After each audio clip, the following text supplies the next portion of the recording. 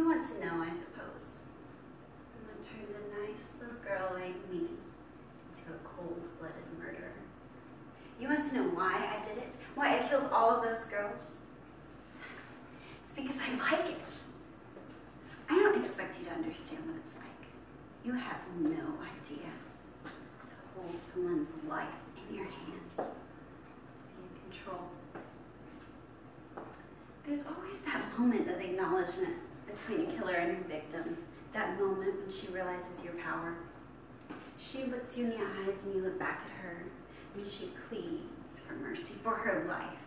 And you have a split second to decide to save her. Well, that's nice. You could give her back to her family, her friends, the people that love her. Or you can kill her. Remove her from this earth. Take away the thing that most value above all else, her life. None of them deserve their lives. Look at them. The actor, the writer, the dancer, the musician, the model. They were the best, and that meant nothing to them. I have never been the best. Always smart, but never the smartest. Pretty, but never the prettiest. Talented, but never the most talented. But despite all this, I always thought I was special, that there was something lurking inside of me that would make me great. I was never okay with the idea of just living my dying being forgotten. No, that's just not me. I want to be remembered for my achievements. And I will, won't I? Sure, you're disgusted by what I've done. You're horrified. You think I'm some sort of monster. But I can guarantee that you're not going to go home to your boring little lives and just forget about me.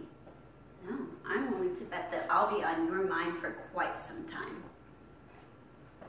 I used to think that there's other ways that I could be recognized. I, I thought that I could be famous. And then I realized how stupid that was. People would want to be me without really knowing what that means. And then, get this, I thought I could be a lawyer. Me.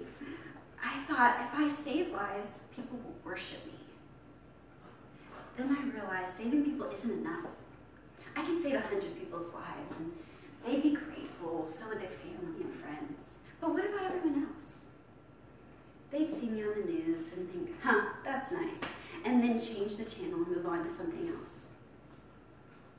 But if I killed just one person, and not just kill them, brutally murder them with my bare hands looking straight into their eyes. Not for revenge, not for personal gain, just because I like killing. Well, then everyone would pay attention. The whole world would stop.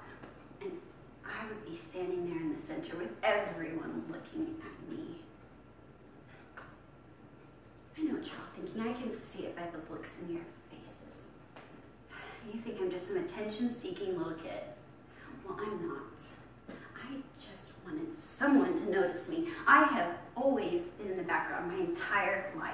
There's always been that one student that gets higher grades than me, that one friend who always shuts me down, and that teacher who makes me feel stupid, that parent that's not interested, and that sibling who overshadows all of my achievements with theirs.